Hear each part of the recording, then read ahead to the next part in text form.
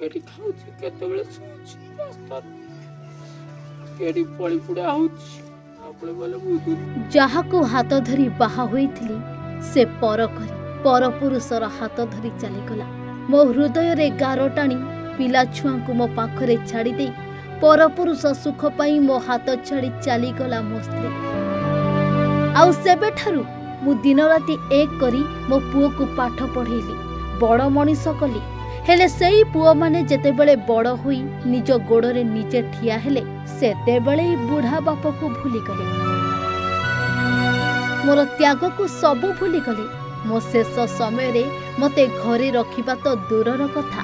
ଏମାନେ ଆଜ୍ଞା ମୋତେ ଖାଇବାକୁ ଦେଉନାହାନ୍ତି। ଖାଇବାକୁ ମାଗିଲେ ମୋତେ ବାଡ଼ଉଛନ୍ତି ଧକ୍କା ମାରି ବାହାର କରିଦେଉଛନ୍ତି। ମୁଁ କ'ଣ କରିବି? କେମିତି ବଞ୍ଚିବି? ମୋତେ ସାହାଯ୍ୟ କରନ୍ତୁ।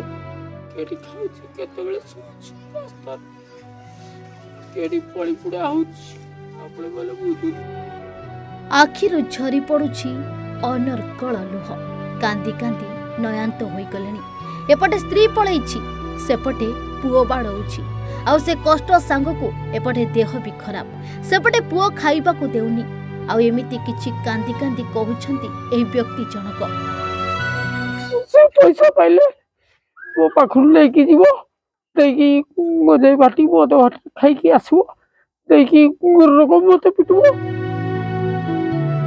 ହଁ ଆଜ୍ଞା ଭୋ ଭୋ ହୋଇ କାନ୍ଦି ନିଜ ଦୁଃଖ ବଖାଣୁଛନ୍ତି ନିଜ ଜନ୍ମ କଲା ଛୁଆର ବାପା ଦର୍ଶକ ବନ୍ଧୁ ଏପରି ଏକ ଅଭାବନୀୟ ଘଟଣା ଘଟିଛି ବାରିପଦା ସ୍ଥିତ ଭୁଗୁଡ଼ାକଟା ୱାର୍ଡ ନମ୍ବର ଛବିଶର ବାସିନ୍ଦା ଉମେଶ ଚନ୍ଦ୍ର ବେହେରାଙ୍କ ସହ ବୃଦ୍ଧାବସ୍ଥାରେ ପରଘରେ ମୂଲ୍ୟ ଲାଗି ଯାହା ଆଣନ୍ତି ତାହା ପୁଅ ଜୋର ଜବରଦସ୍ତି ଛଡ଼ାଇ ନେଇ ମଦ ପିଇବା ପାଇଁ ଚାଲିଯାଏ।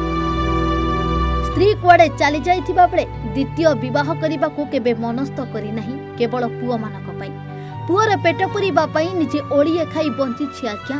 ଆଜି ଏ ମଦ ମୋ ସଂସାର ଉଜାଡ଼ି ଦେଇଛି।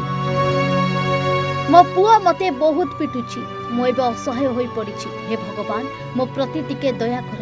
ମୁଁ ବଞ୍ଚିବାକୁ ଚାହେଁ। ଏମିତି କିଛି କାନ୍ଦି କାନ୍ଦି କହିଛନ୍ତି ଏହି ବୃଦ୍ଧ ଜଣକ। ମୋ ସ୍ତ୍ରୀ କେବେଠୁ ଆଜି ପାଞ୍ଚ ବର୍ଷ ହେଲା ପଳେଇ ଯାଇଛି। ସେ କାହା ସାଙ୍ଗରେ ଗଲା କଣ କଲା ମୁଁ ଜାଣିନି ଭାଇ ମୁଁ ବାହା ବି କହୁଥିଲି କିନ୍ତୁ ବାହା ହେବିନି। ସରକାର ଯଦି ମତେ କିଛି ସାହାଯ୍ୟ କରିବେ ପେଟ ଅପରେସନ ବି ହାର୍ଟ ବି ଅପରେସନ ବି ଆଉ ସବୁ କଥା ମୁଁ ଟିକେ ବିଚାର ବଳ ହସ୍ପିଟାଲରେ ଟିକେ ପଡ଼ିଥାନ୍ତି ଆଉ। ମୟୂରଭଞ୍ଜରୁ ଲକି ଜେନାଙ୍କ ରିପୋର୍ଟ ଓଡ଼ିଶା ଭାସ୍କର